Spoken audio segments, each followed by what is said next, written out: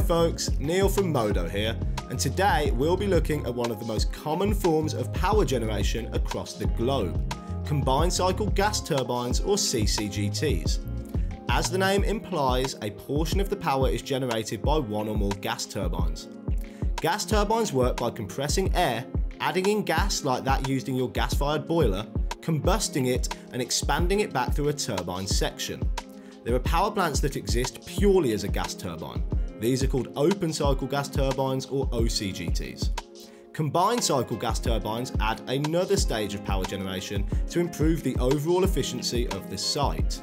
At the exhaust of a gas turbine, the gas still has a good amount of heat.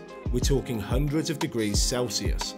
This excess energy can be extracted by passing the gas through a boiler, normally called a heat recovery steam generator or HRSG. The HRSG boils water and raises steam, which is then passed through a steam turbine. After passing through the turbine, the steam is condensed and passes back through the cycle again. If you're looking for more information on how the technology works, a good place to start is looking at the Joule or Brayton cycle for gas turbine and the Rankine cycle for steam turbines. But how do these assets actually operate?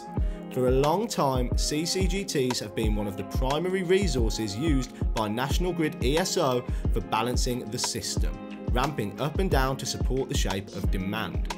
With increasing renewable penetration, CCGTs have continued to take volume in the balancing mechanism, enabling the balancing of both energy and system actions.